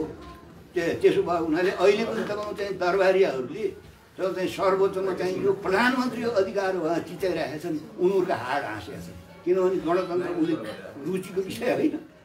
उनीहरू त फेरि पनि रातो फेरि छिमेकीले के भनिरहेको छ? छिमेकीले के भनिरहेको छ भने नेपाललाई हिन्दू राज्य बनाउनुपर्छ आफ्नो देशलाई हिन्दू राज्य बनाउन नसक्ने। नेपाललाई त अब हिन्दू राज्य बनाएर त हिन्दू सम्राट चाहियो। उताका आडले त्यो उताको नीति के हो त्यसका आडमा यहाँ राजनीति चल्छ। त्य त्यसो भएको हुनाले यो जुन खतरा छ यो चान्चुन खतरा छैन यसलाई चाहिँ सामना गर्नुपर्छ। जस्तो तपाईँले भर्खर पनि भन्दै हुनुहुन्थ्यो जस्तो नेपालमा पछिल्लो समय केपी शर्मा ओलीले देशमा सङ्घीयता पनि विघटन गर्ने र संहिता विघटन गरिसकेपछि राष्ट्रिय जनमोर्चा लगाएर दलले पनि समर्थन गर्छन् अनि राजतन्त्र पनि ल्याउने र सँगसँगै हिन्दू राष्ट्र पनि कायम कायम गर्ने भने एक थरी अब जुन रापरपा लगायतका दलहरू र दरबारीले पनि साथ दिन्छन् भन्ने कुराहरू पनि सुनिएको छ। अब चाहिँ नेपालमा त्यो के हिन्दू राज्य कायम हुने र राजतन्त्र फर्कने सम्भावना छ त उसो? त्यो खतरा छ। त्यो खतरा छ। एउटा कुरा तपाईँहरूले के बुझ्नुहोस् भने तपाईँहरूले चाहिँ मिडियाहरू के बुझ्नुहोस् भने तत्काल एमाले तत्काल काङ्ग्रेसका नेताहरूसित म त आन्दोलनमा सँगै छु बाबा। संसदमा सँगै छु। नि उहाँहरूले यो यो मुलुकलाई सङ्घीयता बोकाएर नेपाली जनतालाई समृद्धशाली गराउन सक्छौँ भन्ने उहाँहरूको मनैमा थिएन। शक्ति राष्ट्रहरूले तपाईँ चाहिँ यो यो भारी तिमीहरूले बोक्नुपर्छ भनेपछि उहाँहरूले नसके। तत्कालीन माओवादीको कुरा त नगर्नुहोस् हेर्नुहोस्। उहाँहरू त अब जातीय राज्य कुरा त्यो सङ्घीयताका आवरणमा अनि तपाईँ चाहिँ तराईलाई अलग गर्नैको लागि चाहिँ सङ्घीयता चाहिएको थियो। तर अब अहिले के भएको छ उहाँहरू भन्दाखेरि पहिला चाहिँ यो सङ्घीयता नहुँदाखेरि सिंहदरबारभित्रमा हुन्छ नि। कचिङ्गल त सिंहदरबारभित्रमा चाहिँ नयाँ मान्छेहरूमा अहिले कहाँ कहाँ छ भन्नुहोस् कचिङ्गल कचिङ्गल अहिले तपाईँ चाहिँ नि अब धनगढीमा कचिङ्गल सुर्खेतमा कचिङ्गल हेटौँडामा कचिङ्गल तपाईँ चाहिँ विराटनगरमा कचिङ्गल भन्नु पोखरामा कचिङ्गल छ? अहिले विभिन्न शक्ति केन्द्रहरू अहिले आठ ठाउँमा खेल चलखेल गर्न पाइरहेको छ। हामीले देख्दैनौँ। हामीले यो देशका शासक सरकार प्रमुख राष्ट्र प्रमुख नेपालीकै काम गर्छन् नेपाली हुन् भन्ने हाम्रो हाल त्यो देख्छौँ र यथार्थ त्यो रहन्छ यथार्थमा तपाईँ चाहिँ यहाँ चलाउने प्रशासनमा बस्ने मान्छेलाई कसले चलाउँछ अनि राष्ट्र प्रमुख सरकार प्रमुखलाई कसले चलाउँछ भन्ने कुरा तपाईँ चाहिँ नि तपाईँ हामी सर्वसाधारण जनताले थाहा पाउनु बुझ्दैन। त्यो यो यो यो भएको हुनाले मुलुकमा अस्थिरता अराजकता ल यत्रो कृषि प्रधान देशमा अहिलेसम्म चाहिँ सात सालदेखि अहिलेसम्म एउटा कृषि मल कारखाना गयो यहाँ मल कारखाना खोले भएसम्म चाहिँ विदेशीहरू मल किन्ने नेपालमा भन्नु म सानो सानो छँदाखेरि मेरो आमाले डेढ रुपियाँ दुई रुपियाँ त म चाहिँ एक धार्ने फलाम त्यहाँ लोकल चाहिँ मान्छेहरूले किसानहरूले कोदालाले खनेर ल्याएको फलाम जोखेर राखेर थाली कोदालो बन्तहरू बनाएको मेरो आँखाले देख्यो मान्छे ती सारा बन्द हेर्नुहोस्। यहाँ तपाईँले फलाम खाने चलाउनुहुन्छ भने त विदेशीको फलाम यहाँ छड कति महँगो छ यहाँ आउनै पाउन्न नि त्यही त्यसो भएको हुनाले यत्रो प्राकृतिक साधन छ इन्डियाले चाहिँ बिजुली ल्याएर हामीले चाहिँ लोड सेडिङ हटाएको छ भनेर चाहिँ छाती हान्ने। यहाँका जल स्रोतमाथि कब्जा कस्तो छ भन्नु कसले होल्ड गरिरहेको छ? अप्पर कर्णाली कसले होल्ड गरेको छ? महाकाली कसले होल्ड गरेको छ? अनि अरू जति चाहिँ नदी नाला छन् यहाँ कसले होल्ड गरेको छ भन्नुहोस्। त्यसो भएको हुनाले हामीले सामान्य के देख्छौँ भने म आएर यहाँ बोलिसकेको छु अब यो नेपाली हो नेपालको छोरो हो यो फलानु पार्टीको नेता हो तपाईँले मलाई त्यसरी चिन्ने हो वास्तवमा मैले के गर्छु कहाँ मेरो साँठगाँठ छ मेरो निजी स्वार्थको लागि कसरी निजीकरण गरेँ भन्नुहोस् त राजाले चाहिँ कमसेकम निरङ्कुश राजतन्त्रले चाहिँ स्थापना गरेका तपाईँ चाहिँ कल कारखाना ती राष्ट्रिय उद्योगमा कसरी सखा पारे भन्नु त अमेरिकाको इसारामा ब्रिटिसको इसारामा तपाईँ चाहिँ नि बहुराष्ट्रिय कम्पनी कसरी सखा पारे भन्नुहोस् त। फेरि यिनैले समाजवादको कुरा गर्छन्। आफ्नो पार्टीका नेताका मान्छेहरूलाई चाहिँ बोर्डिङ खोलेर दिएर जनतालाई लुट्न लाउने। कलेज खोल्न ऊ चाहिँ मेडिकल तपाईँको चाहिँ नि अस्पताल खोलेर पैसा लुट्न आउनु पर्ने समाजवाद भनेको के हो? समाजवाद भनेको शिक्षा स्वास्थ्य रोजगारी राज्यले व्यवस्था गर्ने व्यवस्था होइन। यो बाटोमा तपाईँको चाहिँ व्यक्तिको भए तपाईँलाई हिँड्न दिन्थे। सबैको हो र तपाईँ निर्वाध रूपमा गइरहनुहुन्छ। बाहिर घाम लागेको छ नि तपाईँको चाहिँ एक व्यक्तिको भए तपाईँलाई घाम ताप्न दिन्थ्यो व्यक्तिले। नाफा चाहिन्छ उसलाई। हो ठिक त्यस्तै।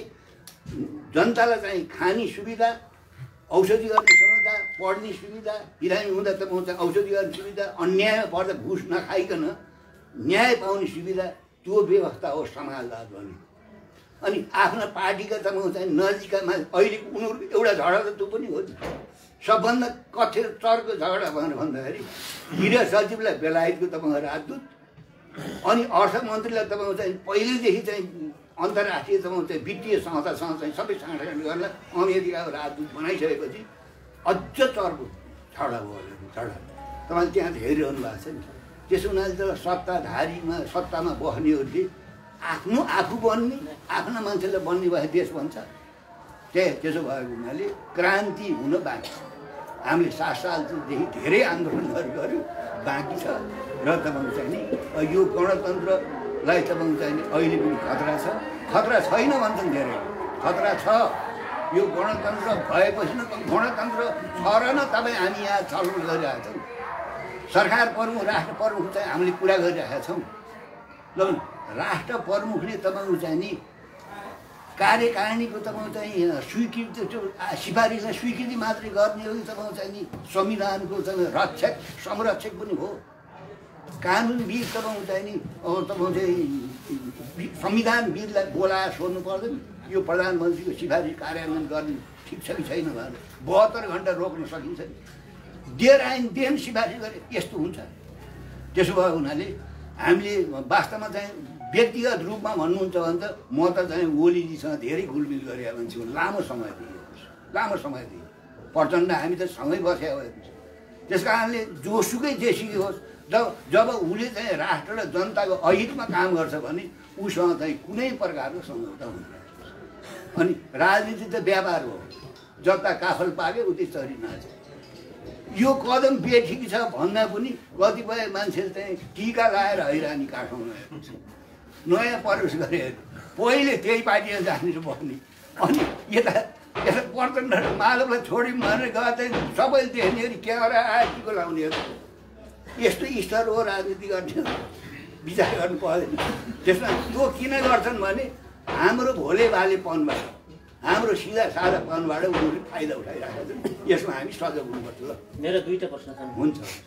एउटा यो आम जनताको गुनासो मैले तपाईँ तपाईँसित गर्दैछु। राष्ट्रिय जनमोर्चाले सधैँ प्रतिपक्षको भूमिका निर्वाह गर्ने हो समर्थन त गर्न हुन्थ्यो कुरा त राम्रै गर्छन् चित्रबहादुर केसीले तर के गर्ने नेतृत्व गर्ने नेताहरू छैनन् त तिम्रो पार्टीमा भन्ने चाहिँ आरोप लाउने गर्छन्। एउटा अर्को हिजो मात्रै विप्लव नेतृत्वको नेकपा अनि वैद्य नेतृत्वको क्रान्तिकारी माओवादी लगायतका चारवटा पार्टीले एउटा संयुक्त मोर्चा गराएर संयुक्त रणनीतिक कार्यक्रम चाहिँ मोर्चा बनाएका छन्। पार्टी एकतासम्मको हाम्रो चाहिँ यो कार्य अभियान चल्न सक्छ भन्ने खालको कुरा पनि आइरहेका छन्। यसमा सच्चा कम्युनिस्ट भनेर उनीहरूले भन्छन्। तपाईँहरूले पनि सच्चा कम्युनिस्ट भन्दै गर्दाखेरि तिनीहरूसितको यो कार्यगत एकता हुने अथवा पार्टी एकतासम्म भयो भने त्यो हुने अवस्था के छ? दुईवटा प्रश्न। यसो उहाँहरूका अथवा उहाँहरूले के भन्नुहुन्छ भन्ने कुरा मुख्य अहिले पनि त्यसभित्रका कतिपय साथीहरू भन्नु माओवादी तपाईँको चाहिँ वैद्य समूहले। अहिले पनि जातीय राज्यको माग छ उहाँहरू अहिले पनि सङ्घीयता उहाँहरूले ज्यान गएर छाड्ने पक्षमा हुनुहुन्न सङ्घीयताकै आवरणमा तपाईँको आठवटा जिल्ला त पाहाडबाट अलग गरिसक्यो। अहिले पनि यो बाबुरामले तपाईँको चाहिँ अझ चारवटा जातीय राज्य थप्नुपर्छ भनिरहनु भएको छ। त्यसो हुनाले कसले के कुरा होइन उहाँहरूको त चाहिँ संयुक्त मोर्चा बनाउने कुरा चाहिँ त्यो उहाँहरूको अधिकार कुरा हो हक कुरा हो स्वाभाविक कुरा हो। त्यस कारणले उहाँहरूले तपाईँ चाहिँ यो गणतन्त्र केही पनि होइन। र तपाईँ जे हो चाहिँ नयाँ जनवादी क्रान्ति हो समाजवाद हो भनेर मात्रै त्यस्तो चाहिँ गीत त धेरै गाएको छ अठाइस उन्तिस सालमा तपाईँ सिबी मैनाली यिनीहरू तपाईँको राजा किन मैनाली लगायत मोहनचन्द अधिकारीले मसान गद्दार भयो। मोहन विक्रम चाहिँ हरियो दुवोभित्रको हरियो सर्प हो। यसले क्रान्ति गर्दैन। हामीले नयाँ जनवादी क्रान्ति गरेर देखाइन्छ उहाँहरू उफ्रिआएको थियो नचिकाटे होइन देख्नुभयो तपाईँ? एकाउन्न सालमा तपाईँको चाहिँ प्रचण्डहरूले भने होइन। हामीले नयाँ जनवादी क्रान्ति। संसदमा आफ्नो नौ सिट थियो। त्यसलाई छोडेर तपाईँको चाहिँ नि त्यत्रो उत्पाद गरेर हाम्रो समेत पक्रेर लगेर तपाईँको चाहिँ दिल्लीमा बस्ने नेपालमा कति जनयुद्ध गर्ने अनि फर्केर आयो त्यही संसदभित्र। दुईचोटि प्रधानमन्त्री भयो नि त्यसमा अनि कसले के भन्छ भन्ने कुरा होइन। यी चारवटा दलका साथीहरूसँग त अहिले पनि हाम्रो सहकारी छ र दलभित्र हामी छौँ। तर उहाँहरूको जुन अहिले यो गणतन्त्र केही पनि होइन। यो संसद विघटन भएर के भयो त भन्ने जुन सोचाइ छ उहाँहरूले कहिले बहिष्कार पनि गर्नुहुन्छ। त्यो विचारसँग हामी सहमत छैनौँ। त्यही त्यस कारणले अहिले चाहिँ गणतन्त्रको रक्षा धर्मनिरपेक्षको रक्षा राष्ट्रियताको रक्षा त म चाहिँ अहिले मूल प्रश्न हो। त्यस कारणले उहाँहरूले रणनीतिक नआउँदा अहिले कार्यनीतिक रूपमा ल्याइरहनु मार्क्सले त पुँजीवाद सखाप हुनुपर्छ संसारबाट मानव जातिको तपाईँ दमन गर्ने शोषण गर्ने पुँजीवाद भन्नुभयो मार्क्सले होइन? तर उहाँले के भन्नुभयो भने त्यही पुँजीवादभित्र पनि मजदुरको आठ घन्टाको काम चाहिँ पाउनुपर्छ भनेर त्यहाँ मजदुरहरूलाई आन्दोलन गराएको होइन। उही मान्छेले पुँजीवादलाई खतम पारेर चाहिँ सङ्घर्ष गरिरहेको छ उही मान्छेले पुँजीवादी व्यवस्थाभित्रको मजदुरको आठ घन्टा मजदुरलाई बिस बाइस घन्टा काम गरेर आठ घन्टाको काम चाहिँ समय हुनुपर्छ। महिलाहरूले चाहिँ पुँजीपतिहरूलाई अधिकार भोट हाल्ने अधिकार हुनुपर्छ भनेर कुनै पनि पार्टीको निम्नतम कार्यक्रममा अधिकतम कार्यक्रम हुन्छ अधिकतम कार्यक्रम चाहिँ लागू गर्ने त्यो देशको परिस्थिति आफ्नो आत्मगत परिस्थिति भएर हो। झापाको के हो? झापा उहाँहरूले गरेको कुरा के हो भन्दाखेरि चाहिँ हुँदैन। यो यो पञ्चायत फाल पञ्चायतको संशोधनले मात्रै हुँदैन भनेर उहाँहरूले हतियार उठाएको होइन। त्यो पनि नक्कल गरेको कसको त भन्छ भने उसको त नक्सलाइट हो आखिर त्यो त्यो के भयो भन्नु? त्यो एकाउन्न सालको चाहिँ त्यो के भयो? आखिरी घटना। अहिले पनि प्रचण्डजीहरू भन्नुहुन्छ गणतन्त्र त हामीले ल्यायौँ। गणतन्त्र ल्याउन हो त्यो त उत्पाद गरेको नयाँ जनवादी क्रान्ति ल्याउनु होइन। नयाँ जनवादी क्रान्ति भनेको त देशभित्रको सामन्तवादको समूल नष्ट र तपाईँको चाहिँ नि सो विदेशीहरूको तपाईँको चाहिँ नि प्रभुत्व हैकम त्यो त्यो खतम होइन। नयाँ जनवादी क्रान्ति त तपाईँले पढ्नु भएको छ। भयो त विदेशीहरूको चाहिँ हैकम यहाँ खतम भयो त उल्टो तपाईँको चाहिँ नि अस्तिकै काठमाडौँको नारा लाउँदाखेरि तपाईँको चाहिँ त्यहाँ केही चाहिँ यो प्रचण्ड माधव समूहले एमसिसी खारेज गर एमसिसी खारेज गर भने पम्फाजीले गएर रोक्नु यो नारा लाउनु हुन्न मानेन। त्यसपछि फेरि प्रचण्डले गएर रोक्नु पऱ्यो भन्नुहोस् त एमसिसी नेपालीको विकासलाई आएको त्यस हुनाले यस खालका निम्न पुँजीपति वर्गहरूमा त यस्ता यस्ता अवसरलाई हुन्छ तैपनि त्यो चार दलको उहाँको जुन रणनीति मोर्चा भने उहाँहरूको नीति हो। तर उहाँहरूले जुन चाहिँ नि अब रणनीतिलाई तपाईँ कार्यनीति बनाएर हिँड्नु भएको छ। त्यो चाहिँ त्यो कुरासँग हाम्रो सहमत छैन। जुन कुरा अहिले पनि उहाँहरू ती चार दलै हामीसँग हुनुहुन्छ त संयुक्त आन्दोलन गरेर कार्यगत एकता त हुन्छ त भइरहेको छ त्यस कारणले त्यो उहाँहरूले जो चाहिँ निर्णय गर्नुभएको छ उहाँको कुरा हो त्यसमा हामी चाहिँ सहमत छौँ। र एकता हुने कुरा त जस्तै यहाँलाई मैले एउटा क्वेसन राख्न खोजेँ।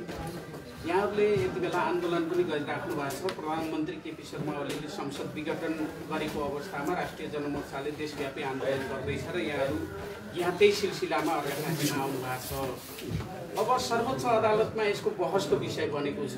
द वे सर्वोच्च अदालतले केपी शर्मा ओलीको त्यो कदमलाई स्वीकार गरेर मुलुक चुनावमा गयो भने यहाँहरूले जुन भनिराख्नु भएको छ यो असंवैधानिक कदम गर्ने ओलीसँग राष्ट्रिय जनमोर्चाको आगामी फेरि ओलीको पार्टीसँग तालमेल गरेर अगाडि जाने नीति के हुनसक्छ? तपाईँहरू तालमेल गर्नुहुन्छ कि गर्नुहुन्न? अहिले गाली गर्नुहुन्छ? चुनाव आएपछि उसैसित तालमेल गर्नुहुन्छ? कारण के होला? तपाईँ स्पष्ट तपाईँलाई म अब इतिहास बताउँछु पैँतिस छत्तिस सालमा नि पञ्चायती व्यवस्थाको विरुद्धमा देशव्यापी आन्दोलन उठ्यो जनताले।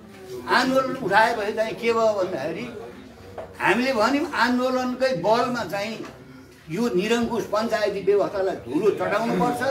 हामीले चाहिँ जन्म सङ्ग्रहमा जान हुन्न भने चाहिँ अझ मनमोहनजीले त बिपी कोइरालासँग भेटेर हामी सबै तपाईँहरू आउँछौँ यो पञ्चायती व्यवस्थालाई अहिले नै तपाईँको चाहिँ आचु आचु पारेर राजा वीरेन्द्रनाथ बौद्धले व्यवस्था घोषणा गर्न आउनुपर्छ भनेर हामीहरूले तपाईँको चाहिँ काङ्ग्रेसलाई अनुनय विनय गऱ्यौँ। त्यति बेला बिपी पनि हुन्। उहाँहरूले के भन्नुभयो भने यो जन्म सङ्ग्रह प्रजातान्त्रिक व्यवस्था हो।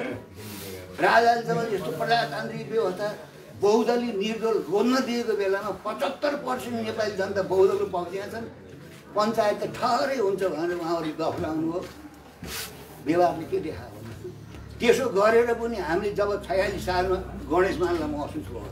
अब वामपन्थीहरू मिसाएर आन्दोलन गर्दिन भने राजाले टेर्दैन।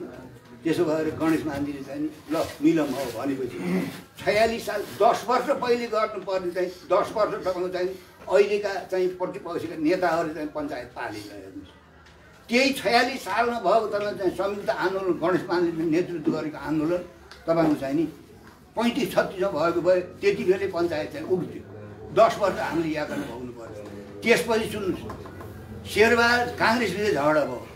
शेरबहादुरले तपाईँको चाहिँ नि संसद लगेर बुझाउनु भयो तपाईँको चाहिँ ज्ञानेन्द्र बुझाएपछि हामीले तपाईँको चाहिँ नि अनुनय विनय गऱ्यौँ।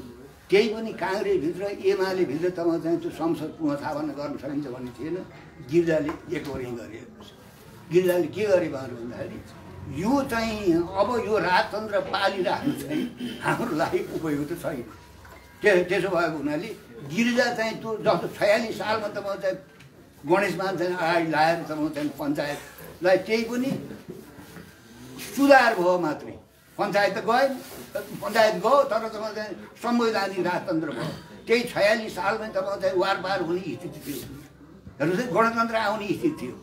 उन्साठी सालमा शेरबहादुर संसद चाहिँ राजा ज्ञानेन्द्रलाई बुझाइसकेपछि काङ्ग्रेसी भित्र चाहिँ पशुपतिमा लगेर फालेको लास फेरि बिउतिर आउँछन् एमाले कतिपय साथीहरू गिरिजाले के भन्यो भने यो यो चाहिँ संसद पुनर्स्थापना गर्नैपर्छ सर्वोच्चले फैसला गरे पनि गर्नुपर्छ आन्दोलन विकल्प छैन भनेपछि हामी म आफै बैसठी त्रिसठीको आन्दोलन चाहिँ बाबु सर एक महिनासम्म मन्त्री सँगसँगै हामी। हेर्नुहोस् है आखिर हार्नु त पऱ्यो नि। सर्वोच्चको आफ्नो चाहिँ निर्णय होला जे गर्ला। तर हामीले के बुझ्नुपर्छ भने संसारको आन्दोलनको निर्णायक शक्ति जनता त्यो त्यसो हुनाले अब सर्वोच्चको चाहिँ फैसला यस्तो गर्नुपर्छ उस्तो गर्नुपर्छ हामीले हामीले भन्ने कुरा भएन। अब उसलाई नि कहीँ दबाब होला होइन? सरकारको दबाब होला। त्यो त्यसो हुनाले हुन्छ नि।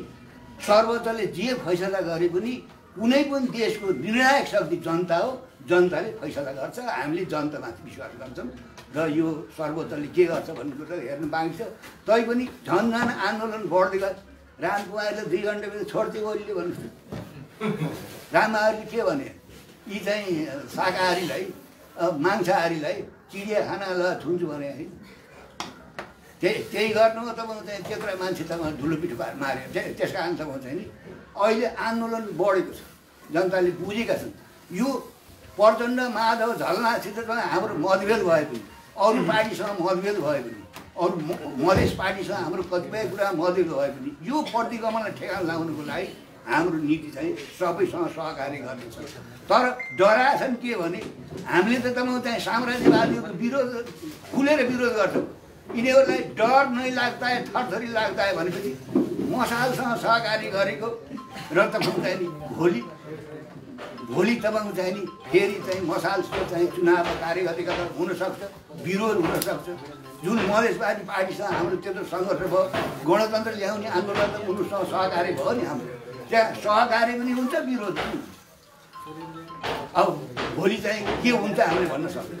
एजेन्डा मुद्दा अनुसार हुन्छ। एजेन्डा मुद्दा हुन्छ। हुन्छ धन्यवाद। यहाँहरू सम्पूर्णलाई पनि हार्दिक धन्यवाद। सँगसँगै आजको प्रमुख वक्ता प्रमुख अतिथि राष्ट्रिय जनमोर्चाका अध्यक्ष शिवराज केसीलाई महत्त्वपूर्ण भनाइराख्नु भएकोमा अझ धेरै धन्यवाद छ। सँगसँगै चुले निम्ता राष्ट्रिय जनमोर्चाको आयोजनामा दिउँसो एक बजेदेखि टुडी खेलमा विशेष सभाको आयोजना हुँदैछ र बाह्र बजेदेखि मसाल बजारबाट र्याली सहितको जुलुस हुँदैछ। यी कार्यक्रमहरूमा पनि पत्रकारहरूको सम्पूर्ण टिमलाई निमन्त्रणाको निम्ति अनुरोध गर्दै हार्दिक धन्यवाद दिँदै यो कार्यक्रमको समापन गर्दिन। अध्यक्ष जितेन्द्र खन्डीलाई स्टेजमा आमन्त्रण गर्दै म सञ्चालक गोपाल भट्टराई पर्छ नमस्कार। हार्दिक धन्यवाद।